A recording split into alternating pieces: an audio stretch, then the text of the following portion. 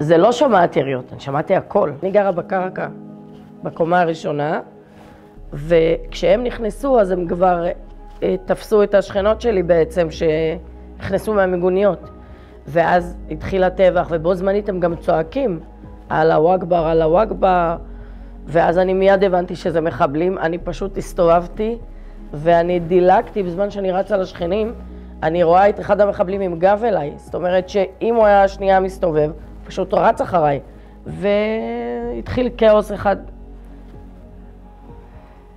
הם התחילו לראות בכל השכנים. הם אה,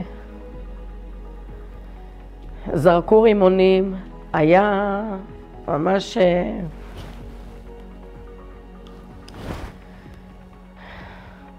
פה נכנס לתמונה הפרויקט פותחים עתיד. קודם כל אורה מהשלב הראשון חייגה אליי כל יום.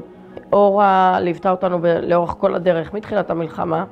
חיים נכנס לפרויקט לפני שנה, זו שנה שנייה שלנו, ומאז הכל השתנה בבית.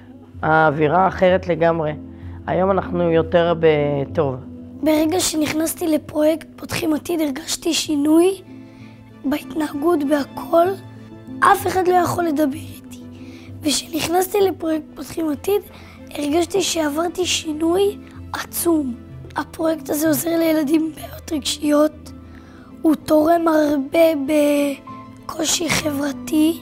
פותחים עתיד זה משפחה, בכל המובנים, אם זה בקהילה, אם זה בפן האישי, אם זה בפן המקצועי, הקשר עם, ה, עם ההורים, עם הילדים, עם המסגרת החינוכית, זה באמת משפחה אחת גדולה. זו תוכנית שהיא כל כך בנויה מהיסודות ויצוקה, שאני מאוד מאמינה, מאמינה בדרך, מאמינה בתהליך, ורואים את, ה, את, ה, את היום-יום. אני מברכת כל יום על אורה, הנאמנת שירות שלנו, של הפרויקט, כי לא, היית, לא הייתה פעם אחת שהרמתי טלפון ואמרתי לה, אורה קשה, והיה חשוב לי שיש שם מישהו בשבילו. אורה בשבילי היא ממש כמו, כמעט כמו אימא. היא עוזרת לי, היא בחיים לא תשאיר אותי בלי פתרון לבעיה. תמיד כשיש בעיה היא תפתור לי אותה. אז אני יודעת שיש לי על מי לסמוך, ובאמת יש לי על מי לסמוך. ואני רוצה להגיד תודה לקרן היסוד, כי בזכות התרומות האלה אנחנו יכולים להגיע לעוד ועוד ילדים ולעוד ולעוד משפחות. אני חושבת שמעבר להכלה הכלכלית, הרגשית, הפסיכולוגית, כל המענה שהם נותנים לנו, אה, עצם העובדה שיש אנשים שמכירים בנו, שעוזרים לנו ותומכים בנו, זה מרגש בפני עצמו. תודה לקרן היסוד שתורמים לפרויקט פותחים עתיד, שהם עוזרים לכל הילדים שצריכים.